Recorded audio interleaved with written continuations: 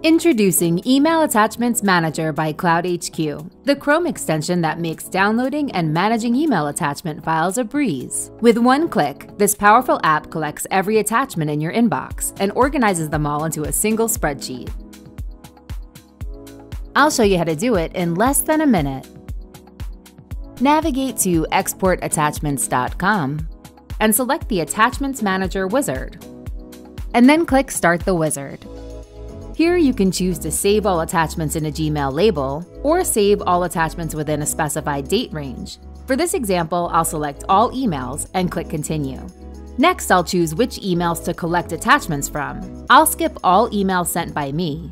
I'll save my attachments to a new spreadsheet and click Start. My attachments are now being collected and my spreadsheet is being created.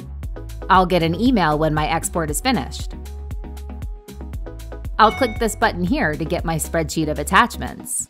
All of my attachments in my inbox have been successfully added to this new spreadsheet, and each file is automatically categorized by sender, file name, category, and more. And it doesn't stop there. Each attachment links directly to Google Drive, making it effortless to access, share, or simply store for safekeeping. You even have a column where your attachments are converted to text format, making data easily searchable. Whether you're managing invoices, contracts, or important documents, Email Attachments Manager saves you time and keeps everything organized.